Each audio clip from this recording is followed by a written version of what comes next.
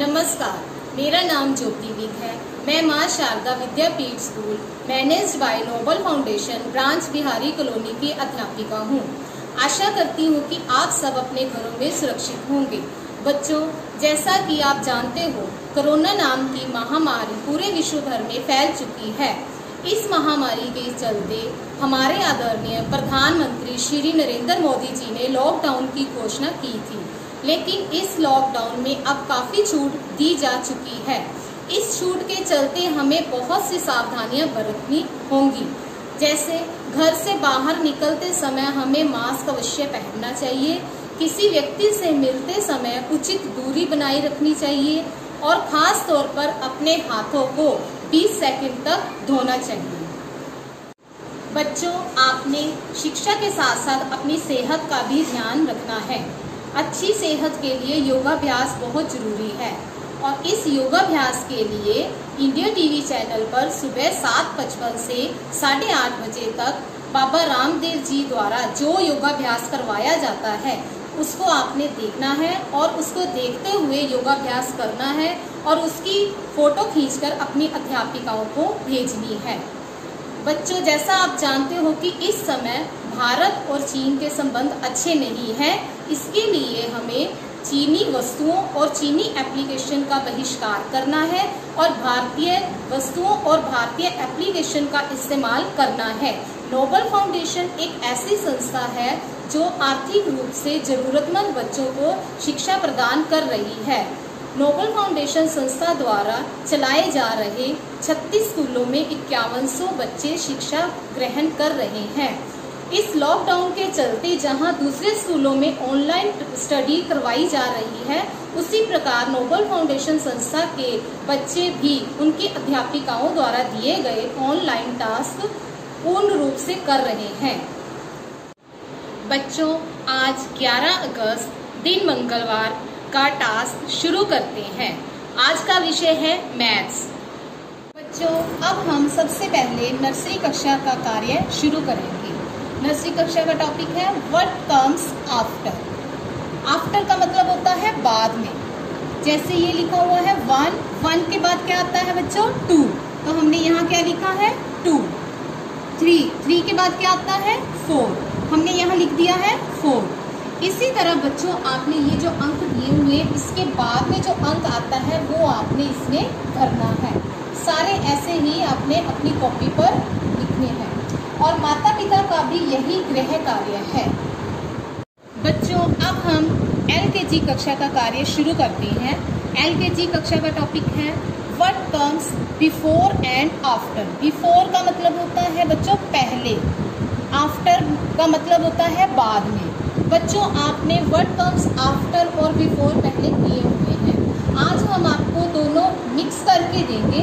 आपने स्वयं देखना है कि कौन सा बिफोर है और कौन सा आफ्टर है। जैसे वन वन के बाद क्या आता है? टू हमने यहाँ पर लिख दिया है टू इधर लिखा है फाइव फाइव के पहले क्या आता है? फोर हमने यहाँ पर फोर लिख दिया है। इसी प्रकार बच्चों आपने वर्ड कम्स आफ्टर और बिफोर आपने अपनी कॉपी पर लिखने हैं। बच्चों, अब हम कक्षा यू के जी का टास्क शुरू करते हैं। यू के जी के टास्क में आज का टॉपिक है सिक्स और सेवन का टेबल पहले हम सिक्स का टेबल पढ़ेंगे। Six zero the zero six one the six six two the twelve six three the eighteen six four the twenty four six five the thirty six six the thirty six six seven the forty two six eight the forty eight six nine the fifty four six ten the sixty इसी तरह हम seven का table पढ़ेंगे। Seven zero the zero seven one the seven seven two the fourteen seven three the twenty one seven four the twenty eight seven five the thirty five seven six the forty two seven seven the forty nine seven eight the fifty six seven nine the sixty three seven ten the seventy बच्चों, ये आपने six और seven का table अपनी copy पर लिखना है और याद करना है। पारी है कक्षा पहली की। अभ्यास छ। अब हम करेंगे संख्याएँ लिखो। इकतालीस से पचास तक। बच्चों, इसको हमने हिंदी में लिखना है। जैसे इकतालीस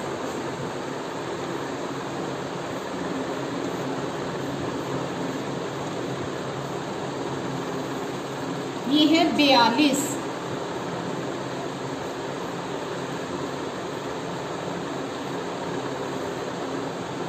ये है तैतालीस।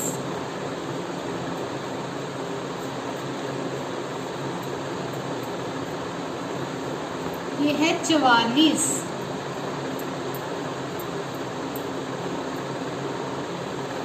ये है पैंतालीस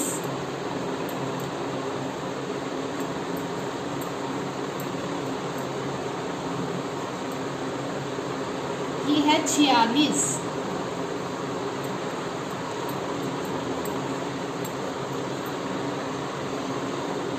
ये है सैतालीस।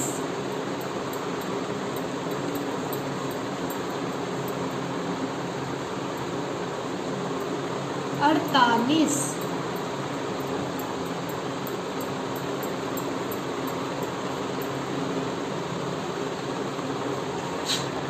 उनचास। पचास। बच्चों, इसी तरह आपने ये गिनती कॉपी पर लिखनी है। अब बारी है कक्षा दूसरी की। अभ्यास तीन। ग्यारहवा प्रश्न। निम्नलिखित संख्याओं में सैकड़े के अंक पर ठीक का चिन्ह लगाओ। इसमें बच्चों, क्या करना है आपने? ये जो रकम दी गई है, इसमें सैकड़े के अंक पर हमने ठीक का निशान लगाना है जैसे ये रकम है इकाई, दहाई, सैकड़ा। सैकड़े का अक्षर क्या है? आठ। इसके ऊपर हमने टिक लगाना छह सौ सतासठ में है ये वाला सैकड़ा। इकाई, दहाई, सैकड़ा। इकाई, दहाई, सैकड़ा। इकाई, दहाई, सैकड़ा। इकाई, दहाई, सैकड़ा। बच्चों, इसी तरह बाकी के आपने अपने आप करने हैं। सवाल प्रश्न नंबर बारह। चार, पाँच छः अंकों से बनने वाली सभी तीन अंकों की संख्याएँ लिखी। अब बच्चों, इसमें क्या करना है? ये जो शब्द अंक दिए गए हैं, इनको हमने लेकर तीन अंकों की संख्या बनानी है। जैसे चार सौ छप्पन, चार सौ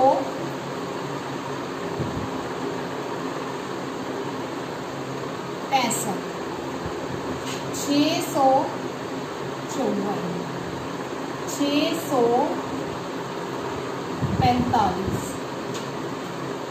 पाँच सौ छियालीस। पाँच सौ चौसठ। अगला प्रश्न है, पाँच ज़ीरो आठ अंकों से बनने वाली सभी तीन अंकों की संख्याएँ लिखिए अब इन अक्षरों से हमने तीन अंकों की संख्याएँ बनानी है, जितनी भी बनेगी। पाँच सौ आठ, पाँच सौ अस्सी, आठ सौ पचास, आठ सौ पाँच। अगला प्रश्न है, चार नौ सात अंकों से बनने वाली बड़ी से बड़ी तीन अंकों की संख्या लिखिए। इसमें हमने बच्चों एक ही संख्या लिखनी है, जो सबसे बड़ी है। नौ सौ चौहत्तर। इन सभी प्रश्नों को आपने अपनी कॉपी पर लिखना है और इसकी फ़ोटो खींचकर अपनी अध्यापिका को भेजना है। जो अब बारी है कक्षा तीसरी की। अभ्यास दो। प्रश्न नंबर तीन। शब्दों में लिखिए। बच्चों, ये देखो जैसे ये रकम लिखी हुई है छह हज़ार एक सौ सैंतीस। इसको हमने ऐसे लिखना है हिंदी में। छह हज़ार एक सौ सैंतीस। अब मैं आपको सिखाऊँगी कैसे लिखनी है। बच्चों, ये है इकाई, दहाई, सैकड़ा, हज़ार। तो हज़ार के नीचे क्या है? चार। तो हम यहाँ पर लिखेंगे चार हज़ार। सैकड़े के नीचे है हमारा सात।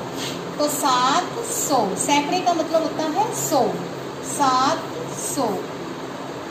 इक्यानवे।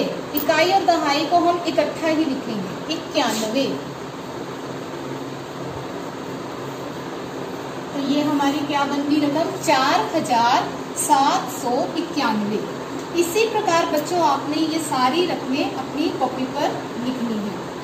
अगला प्रश्न है, संख्याओं के क्रम को ध्यान में रखते हुए आगे की तीन संख्याएँ लिखिए बच्चों, जैसे ये एक सवाल हमने किया हुआ है यहाँ पर, चार हज़ार छह सौ तैतीस, चार हज़ार छह सौ चौतीस, चार हज़ार छह सौ पैंतीस उसके बाद हमने लिखा है चार हज़ार छह सौ छत्तीस, चार हज़ार छह सौ सैंतीस, चार हज़ार छह सौ अड़तीस।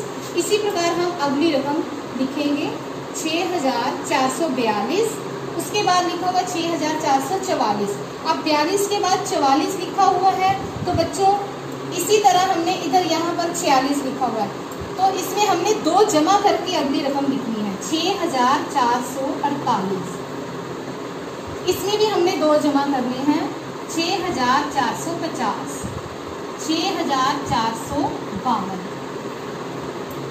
इसी प्रकार आपने ये सारे सवाल अपनी कॉपी पर कर लिया अब बारी है कक्षा चौथी अभ्यास चार।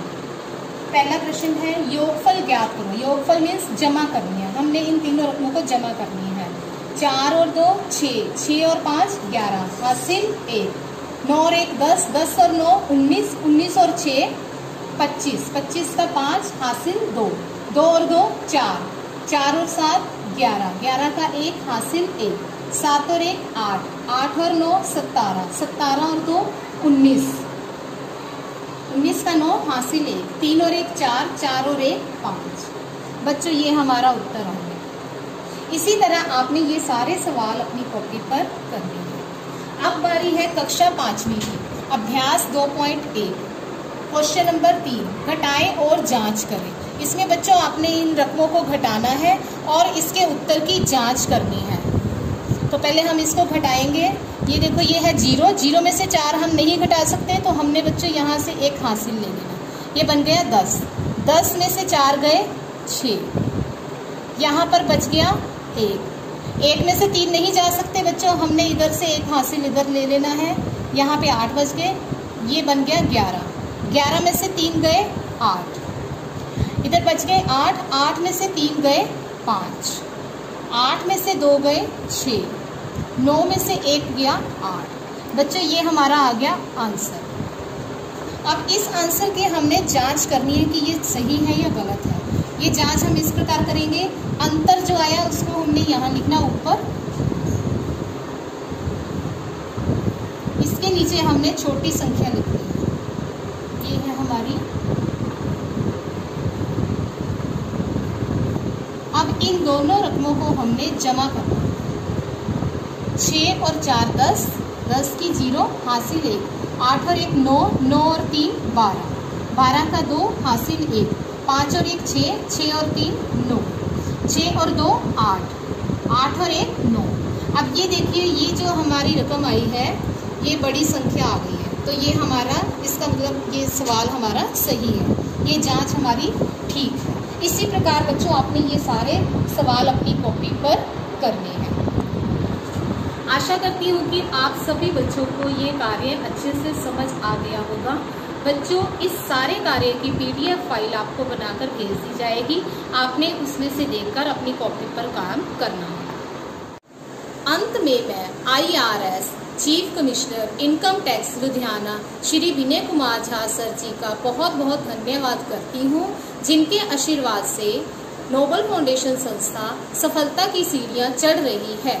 इसके साथ ही मैं नोबल फाउंडेशन के फाउंडर श्री राजेंद्र शर्मा सर जी का और नोबल फाउंडेशन संस्था से जुड़े सभी दानी सज्जनों का धन्यवाद करती हूँ, जो नोबल फाउंडेशन संस्था के बच्चों और उनके माता पिता के उज्जवल भविष्य की कामना करते हैं। जय हिंद।